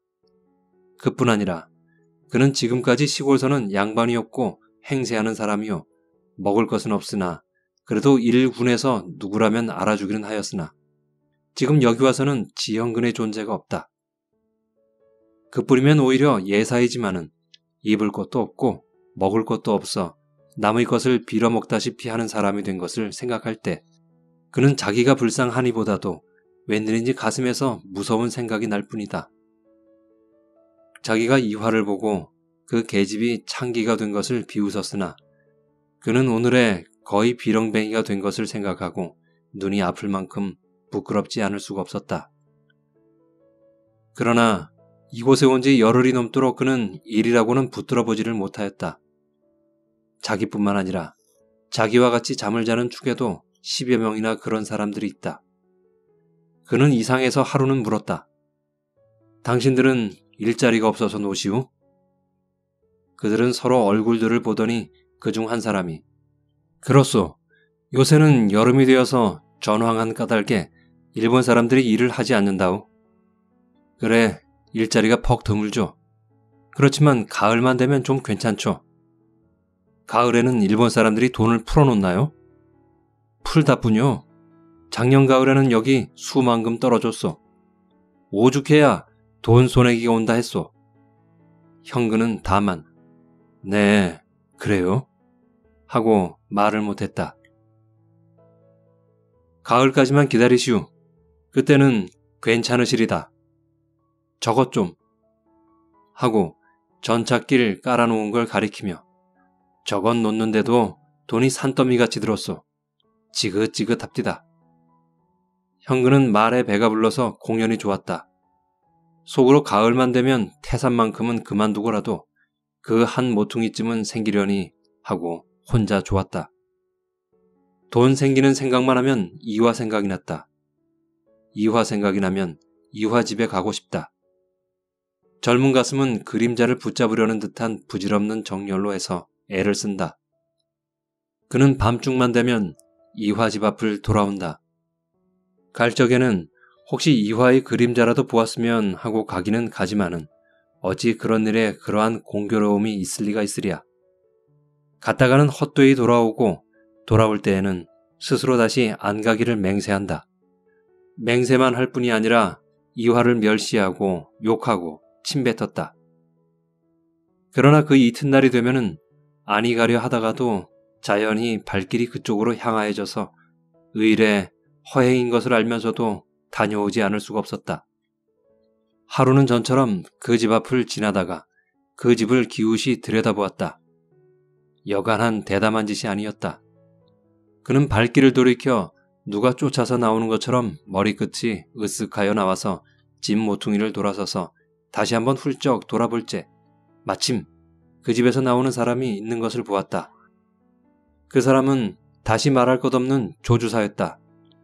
형근의 얼굴에는 갑자기 질투의 뜨거운 피가 올라오더니 두 눈에서 번개 같은 불이 솟는 것 같았다. 만일 자기 손에 날카로운 칼이 있다 하면 당장에 조주사를 죽여버리거나 그렇지 않으면 자기가 죽어버릴 것 같았다. 그는 그날 종일 잠을 자지 못하였다. 그는 부질없이 몸에 힘이 오르고 엉터리 없는 결심과 용기가 생기기 시작하였다. 그는 내일은 내 모가지가 달아나더라도 이화를 만나보리라 하였다. 그러나 만나볼 도리는 없었다. 자기의 주제를 둘러보면 부끄러운 생각이 날 뿐이요. 주머니에는 가을에나 들어올 돈이 아직 한 푼도 없다. 그는 눈을 감고 생각하였다. 내 마음이 떴다. 그러나 비행기를 탄 사람이 바깥을 보지 않고는 떴는지 안 떴는지를 모르는 것처럼 형근은 뜬 것 같기는 하나 또 그렇지 않은 것 같기도 하다. 혹간 냉정히 자기가 자기를 보려다가도 조주사가 생각날 적에는 그는 조주사와 이화는 볼지라도 자기는 볼 수가 없었다. 그는 돈을 얻을 도리를 생각하였다. 그러나 바위 틈에서 물을 구하는 것이나 마찬가지였다. 빈 궁은 죄악을 만든다는 말이 진리가 아니라고 할 사람은 없을 것이다. 그는 무슨 분수 위에의 도리가 있다 하면 해보지 않고는 못 베길 만큼 되었다. 그는 동양 친구를 또 생각하였다. 동양 친구는 그동안 근근히 저축한 돈이 얼마인지는 모르나 쇠사슬로 얽어놓은 가죽 지갑 속에 있는 것을 일전에 무엇을 찾느라고 꺼내는 것을 보았다. 그는 처음에는 그렇지만 염치가 어떻게 돈까지 구워달라노? 하다가는 돈은 또 무엇에 쓰느냐고 하면 대답할 말도 없지 하고 눈을 꿈뻑꿈뻑 하다가 그렇지만 내 말이면 제가 돈 몇 환쯤 안 취해주지는 못하렸다. 이렇게 혼자 궁리는 하나 마음뿐이요 몸으로는 할 것 같지는 않다. 그는 또 당장에 단념을 하여 버리는 것이 옳은 듯이 에 그만두어라. 내 마음이 비뚤어가기 시작을 하는 것이야. 하고 툭툭 털고 일어나서 빙빙 돌아다녔다. 그날 저녁 동양 친구는 현근을 찾았다. 여보게, 일자리 생겼네. 하고 현근에게 달려들 듯 하였다. 현근은 너무 의외의 일이라 가슴이 공연히 설렁 내려앉더니 두근두근하며 손끝이 떨린다. 어디? 글쎄, 이리 오게. 떠들면 여러 사람 와 덤비네. 모레는 김화로 가세. 내가 오늘 거기 십장에게 자네 일까지 부탁을 하여 놓았으니까 염려 없네. 금전도 퍽 후하고 일도 그리 되지 않은 것이야. 형근은 좋은 소식은 좋은 소식이나 또한 마음 한 귀퉁이가 서운하다. 김화? 하고 형근은 눈을 크게 뜨며 여기서 꽤 멀지? 하고 초연한 생각이 나타난다. 무얼? 얼마 된다고? 한나절이면 갈걸? 두 사람은 모레 같이 떠나기로 약조를 하였다. 형근은 감사스러운 중에도 무정스러운 감정으로 공연히 마음이 가라앉지 않아서 허둥지둥 엉덩이를 땅에 대지 아니하고 저녁을 먹었다. 저녁을 먹은 뒤에 그는 움 앞에 다시 앉았었다. 이화는 다시 한번 보지도 못하는구나. 하며 한숨을 쉬었다. 그러나 꼭 한번 오라고 하였으니 의리상으로라도 한 번은 가보아야 할 터인데 하다가 그대로 생각나는 것은 동양 친구 주머니 속에 있는 지전 조각이었다. 내가 입으로 말을 할 수야 있나? 죽어도 그것은 할 수가 없지. 말을 하는 입내만 내어보아도 쭈뼛쭈뼛 하여지는 것 같다. 인제야 일할 군형이 생겼으니까 나중에 갚는 것도 걱정이 없어졌으니까 으쓱한 생각에 마음이 느긋하여졌다. 이화를 찾아가는 것도 그다지 부끄러울 것 없을 것 같았다. 세상에 사람이 살아가려면 권도라는 것도 있는 법이지만은 나 같아서야 어디 살아갈 수가 있어야지. 해가 넘어가고 날이 어둑어둑하여지니까 공연히 마음이 처량하여지면서 쓸쓸하다. 오늘 저녁이 아니면 내일 저녁밖에 없는데 하며 담배를 붙여 물고 한 바퀴 휘 돌아왔다. 와서 보니까 본시 술을 많이 먹지 못하는 동양 친구가 어디선지 술이 잔뜩 취하여 저쪽에다가 거적을 깔고 외따로이 누워있다. 이것이 웬일인가? 하고 곁으로 가보니까 그는 세상을 모르고 잔다. 그의 가슴은 웬일인지 무슨 예감을 받은 사람처럼 떨리더니 그의 머릿속에 번개같이 일어나는 충동이 있다. 마치 어여쁜 여자가 외로이 누운 그 곁에 선 젊은 남자가 받는 충동이나 마찬가지로 주머니에 돈을 지닌 사람이 아무도 보지 않는 곳에 의식을 잃어버리고 누운 것을 본 형그는 더구나 돈에 대하여 목전에 절실한 필요를 느끼는 그는 무서운 죄악의 충동을 느꼈다. 그러나 그는 그 찰나에 자기가 의식지 못하던 죄악의 충동을 일으킨 것을 깨달았을 때 그는 이를 깨물며 주먹을 쥐고 울듯이 고개를 내줬고 마음속 깊이 깊이 뜨거운 후회로 자기를 깨달았다. 그는 그러한 마음을 한때라도 다정한 친구에게 일으킨 것이 그에게 대하여 무엇이라고 말할 수 없이 미안하였다. 그는 그를 잡아 흔들었다. 여보게, 이슬 맞으면 해로우이, 들어가세. 목소리는 다정함으로 떨렸다. 응, 응, 가만 있어. 하며 다시 얼굴을 하늘로 두고 뒤쳐 들어 누우며 그는 풀무같이 숨을 쉬면서 드르렁 드르렁 코청이 떨어지듯이 숨을 쉬었다. 이거 큰일 났군. 형그는 그래도 다시 가까이 가서 몸을 추스르려 할 때 그 동양 친구의 지갑이 어디 들어있는지 그것부터 먼저 보지 아니치 못하였다. 그는 동양 친구를 일으켜 겨드랑이를 부축하였다. 동양 친구는 세상을 몰랐었다. 그러나 눈을 한번 떠서 현근을 보더니 안심하는 듯이 다시 까부러졌다. 현근의 손은 그 동양 친구의 지갑에 닿았다. 그는 맥이 풀려서 지갑을 꺼내기는 고사하고 친구까지 땅에 떨어뜨릴 뻔하였다. 그는 다시 팔에 힘을 주어 움속으로 그를 끌고 들어갔다. 바깥에서는 여러 사람들이 이 꼴을 보며 저희들끼리 떠들었으나 거들어주는 자는 없었다. 그러나 움속에 들어오더니 아무도 없으므로 별로의 보는 이가 없었다. 형그는 그 컴컴한 움속에서 그 친구를 든 채 얼마간 섰었다. 내려놓지도 않고 눕히지도 않고 그는 무서운 시련의 기로에서 방황하였다. 그는 눈을 한번 감았다 뜨며 친구를 눕히는 서슬에 지갑을 뺐다. 그의 손은 이상한 쾌감과 함께 소나기가 뿌듯한 것을 깨달았다. 그는 친구를 뉘고 다른 박질에 나왔다. 그는 사람 적은 곳에 가서 그것을 열지도 못하고 한숨을 길게 내쉬었다.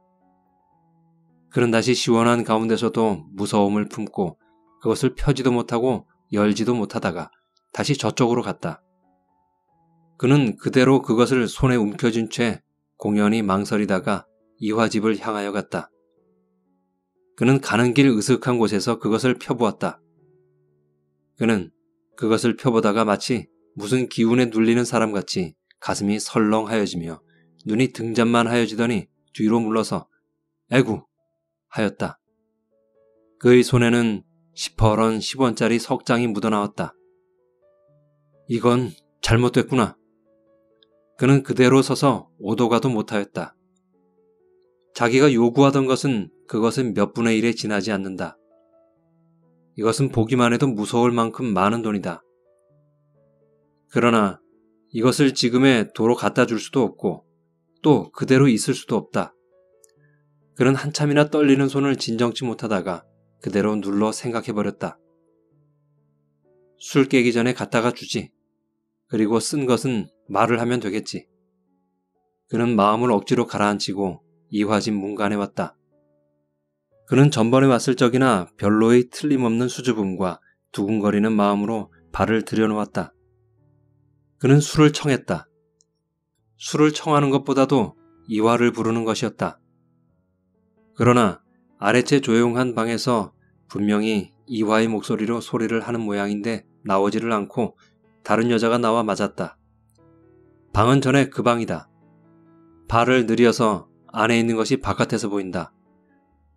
그는 기대가 틀어진 것에 낙심을 하고 어떻든 술을 청하였다. 그새 여자가 들고 들어오며 현근을 아래 위로 훑어보더니 혼자 오셨어요? 하였다. 그럼 여러 사람이 다닙니까? 그 계집은 손으로 입을 막고 웃었다. 자, 드시죠. 술도 급하지만 나는 이화를 좀 보러 왔소. 그 계집은 네? 하더니 또 웃는다. 저는 인물이 못생겼죠? 언제적부터 이화와 가까우시던가요? 형근은 자기는 좀 점잖이 말을 하는데 그 계집이 실없이 하니까 속으로 화는 나지만 위험을 보일 수가 없다. 이화가 어디 갔소? 잠깐 보자는 이가 있다고 하구려. 그 계집은 문을 열고 나가더니 온 집안이 다 들리게 이화 언니, 이화 언니, 당신 단골 손님 왔소. 어서 나오. 하면 빽대굴거리며 웃는다. 이화는 무슨 영문을 모르는 듯이 어떤 손님과 자별하게 이야기를 하다가 문을 열고 고개를 내밀면서 무어야? 얘가 왜 이래? 실성을 했나? 하고 현근의 앉아있는 방을 올려다보고는 응, 저희가 왔군. 싱겁게 혼잣말을 하고 다시 돌아앉으니까 함께 한 방에 있던 면석이 같은 젊은 사람이 마주 기웃하고 내다보더니 저것이 단골 손님이야? 하고 비웃는다. 온 이주사도 아무렇기로 내가 할 때 글쎄 꼭 봐야 하겠다니 좀 가봐요. 하며 그 계집이 지근거린다. 나를 그렇게 봐서 무엇을 한다더냐? 하고 이주사라는 자의 눈치를 보는 것이 그의 눈앞을 조리는 모양이다. 가봐주지. 그래도 적선인데. 내 앞이 되어서 몹시 어려워하는 모양이로군. 그럴 건 무엇 있나? 온 말씀을 해도 왜 그렇게 하시오? 누구는 끈에 맨 돌멩이 띠까? 나 하고 싶은 대로 하고 지내지. 몇십 년 사는 인생이라고. 그러나 대관절 어떤 자야? 고향서 이웃집 사는 사람이야. 이러는 동안에 형근은 아무도 없는 빈방에 혼자 앉아 술상만 대하고 있으려니까 싱거없고 갑갑하고 역심이 나서 올 수도 없고 갈 수도 없다. 그뿐이면 고만이게 이화라는 년은 다른 놈하고 앉아서 자기 방을 넘성 쳐다보는 것이 마치 창살 속에 넣어놓은 천국 사람의 원숭이 같이 대접을 하는 것 같아서 속으로 분하고 안 입고 온증이 나며 천생 타고난 기질을 어떻게 하니? 창기는 판에 박은 창기년이다. 속으로 이렇게 중얼거리는데 자기 방 계집이 쭈루루 다녀오더니 심심하셨죠? 이화는 이제 옵니다. 하고 술을 따라 놓더니 과일 잡숫고 싶지 않으세요? 과일 좀 들여오죠. 이화도 오거든 같이 먹게요. 하더니 제멋대로 이것저것 들여다 놓고 먹어댄다. 아무리 기다려도 이화는 오지 아니한다. 여전히 아랫방에서 그자와 이야기를 하는 모양이다. 형근은 혼자서 술을 먹을 수가 없어서 그 계집과 서로 대작을 하였다. 그 계집은 어수룩하고 아직 경험 없는 것을 알아채고 어떻게 해서든 형근의 주머니를 알겨낼 생각이다. 주제를 보아서 아직 극단의 수단을 내어놓지 않는다. 한 시간이 지나갔다. 형근은 다시 그 계집에게 이화를 불러달라고 청을 하였다. 그 계집은 술잔이나 들어가더니 형근의 말을 안 듣고 요리 핑계, 조리 핑계 한다. 형근도 술자리나 들어가니까 객기가 나지 않는 것도 아니다. 가 불러와. 그는 소리를 질렀다. 실소? 왜 싫어? 윗방에서 왁자 하는 것이 자기 때문인 것을 알아챈 이화는 문을 열고 나왔다. 어딜 가? 면석이는 어느덧 술이 곤죽이 되어 들어누웠다가 이화의 치마를 잡았다. 잠깐만 다녀올 테니 노세요. 안 돼. 이화는 팩한 성미에 흉허물 없는 것만 믿고 치마를 뿌리쳤다. 안 되기는 왜 안 돼요? 잠깐 다녀온다는데 누가 36개를 하나? 면석이는 노했다. 그대로 일어섰다. 이화는 현근의 방으로 안 들어가고 안으로 들어가 버렸다. 술 취한 면석이는 다짜고짜로 현근의 방 발을 집어던졌다. 이놈아, 이런 건방진 자식이 술자리나 먹으려거든 국으로 먹으러 다녀. 너 이화는 봐서 무엇할 모양이냐? 상판 생긴 것 하고 그래도 무엇을 달았다고 계집 맛은 알아서 놈 계집 궁둥이 따라다닐 만하다. 형근은 기가 막혀 쳐다볼 뿐이다. 이놈아, 왜 눈가를 오랑캐 뜨고 보니? 내 얼굴에 무엇이 묻었니? 에이, 퇴퇴. 면석이는 침을 방에다 막 뱉는다. 대관절, 이화 어디 갔니? 응? 이화 어디 갔어? 하고 호통이다. 온 집안 사람이며 술 먹으러 온 사람이 모여들었다. 이화는 이 소리를 듣더니 뛰어나오며 면석이를 달래고 현근에게 연해 눈짓을 하였다. 글쎄, 이 주사날이 이게 무슨 짓이오? 약주 취했소? 어서 저 방으로 가시오. 하고 이 주사에게 매달리다가 대단 미안합니다. 점잖으신 이가 약주가 취해서 그러신 것을 서로 참으시지. 그렇죠? 어서 약주나 자시지요. 면석이는 그래도 여전히 현근을 보고 놀려댄다. 이놈아, 내가 이놈 노동자가 감히 누구 앞에서 그따위 짓을 해? 흥! 현근의 인습관념에 젖어 있는 젊은 피는 끓었다. 그는 결코 자기가 노동자는 아니다. 양반은 자식이요 행세하는 사람이다. 몸은 비록 흙 속에 파묻혔으나 마음과 기운은 살았다. 무엇? 노동자? 현근에게는 그 외에 더 큰 모욕이 없었다. 그는 면석이를 향하여 기운에 타는 두 눈을 부릅떴다. 그래 이놈아, 내가 노동자가 아니고 무엇이야? 글쎄, 그만들 두세요. 제발 저 방으로 가시오. 하며 이화는 가운데 들어섰다. 형근은 이화를 뿌리쳤다. 그는 이화를 뿌리칠 때 더러운 년, 갈보년 하는 소리가 입으로 나오지는 아니하였으나 그의 온 전신을 귀퉁이 귀퉁이 속속들이 울리는 것 같았다. 형근은 이화를 뿌리치던 손으로 이주사라는 자의 따귀를 보기 좋게 붙이니까 그대로 땅에 나가 뒹굴었다. 이놈 봐라, 사람 친다. 하더니 면석이는 윗옷을 벗고 덤비었다. 어디 또 한번 때려봐라. 하고 주먹을 들고 덤비려고 살일째 옆에 방에서도 툭 튀어나오고 대문에서도 쑥 들어서는 사람들의 눈은 횃불같이 타면서 현근을 훑어보더니 다시 이주사를 보고 다치지는 않았소? 대관절 어찌 된 일이오? 말을 좀 하시구려. 옆에 섰던 이와도 말을 아니하고 그 계집도 말이 없다. 대관절, 손을 먼저 댄 게 누구야? 하며 현근을 보더니 그 중에 구척같이 키가 크고 수염이 더부룩한 자가 들어서더니 여보, 이 친구, 젊은 친구가 술잔이나 먹었으면 곱게 사귈 일이지. 누구에게 다 손찌검하고 흥, 맛 좀 보련. 하더니 넉가래 같은 손이 보기 좋게 따귀를 붙이는데 눈에서 불이 나며 입에서는 애구구 소리가 저절로 난다. 그는 아무 말 없이 볼따구니만 쥐고 있다. 그러려니까 연신 번갈아가며 주먹과 발길이 들어오는데 정신이 아뜩아뜩하고 앞이 보이지를 않는다. 그는 애구구 소리만 지르면서 글쎄 나는 잘못한 게 없습니다. 하고 빌어대면 이놈아 잔말 말어. 너도 세상 맛을 좀 알아야 하겠다. 하고 한 개 더 붙인다. 옷은 갈갈이 찢어지고 얼굴에서는 피가 흐른다. 이화는 후다닥거리는 서슬에 마루 끝에 서서 여보 박서방 가서 순사를 불러오. 야단났소. 그저 그만두시라니까 그러는구려. 할 때 형근은 순사라는 소리가 귀에 들릴째 그는 꿈에서 깬 것 같이 정신이 났다. 이화가 나를 순사에게 하고 얻어맞는 중에서도 온 기운을 다 내었다. 초자연의 기운은 그를 거기서 뛰어 여러 사람을 해치고 문 밖으로 뛰어나갈 수 있게 하였다. 그는 눈 딱 감고 뛰었다. 그러나 때는 늦었다.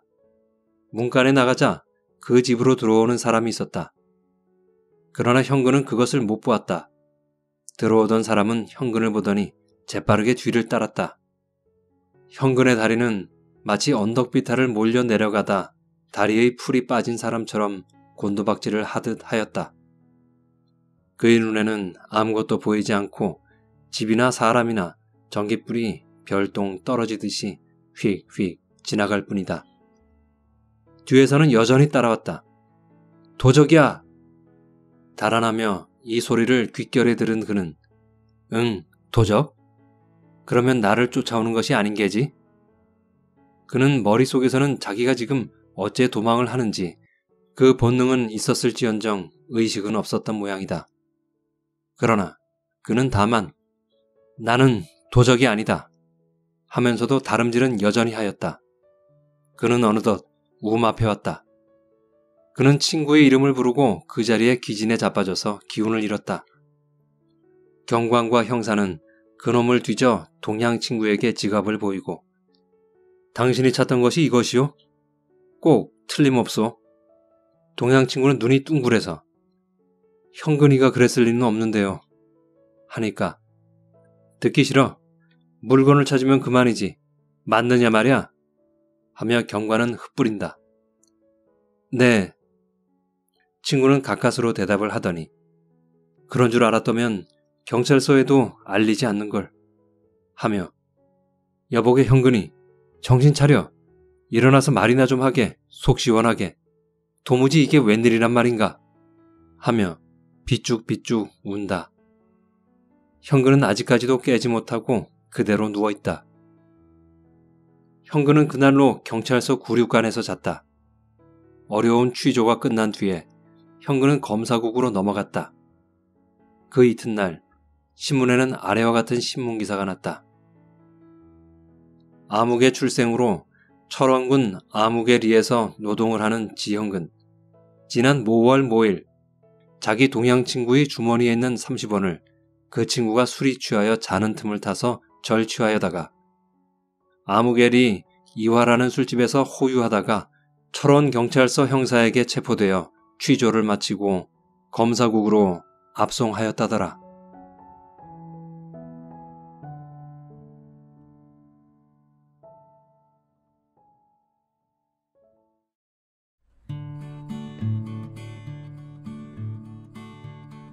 여전히 지영근은 자신은 양반집 자식이라는 생각에서 벗어나지는 못하고 있는 것 같네요. 세상은 이미 양반, 상놈 구분 없는 세상으로 변화했는데 말이죠. 촌에서만 살다 보니 바깥 세상의 인심과 생활을 전혀 알지 못하고 남들한테 이용만 당하는 모습을 보니 어찌 그리도 어리숙한지 한편 답답하기도 하고 한편 불쌍해 보이기도 합니다. 고향을 떠나올 때 집으로 다시 돌아갈 땐 손에 지전뭉치를 가득 들고 가리라는 당찬 희망을 가졌을 텐데 일이 어째 이상하게 돌아가는 것이 안타까워서 소설을 낭독하고 있는 저는 이 소설 읽기를 그만해서 더는 이 청년의 망가지는 것을 중지시키고 싶은 마음까지 들었습니다. 결론이 조금 안타깝게 마무리가 되었지만 제 생각엔 이게 끝은 아닐 것 같습니다. 젊으니까 벌을 받고 나오면 이제 세상을 좀 배웠을 테니 다시 잘 해나갈 것이라 믿습니다. 여러분은 재밌게 들으셨나요? 지금까지 나도 향의 단편소설 지형근을 읽어드렸습니다. 다음에도 재밌고 유익한 작품으로 찾아뵙겠습니다. 행복한 책 읽기 파피루스의 책 읽는 하루였습니다. 끝까지 함께 들어주신 여러분 감사합니다. 다음에 또 뵐 때까지 행복하세요.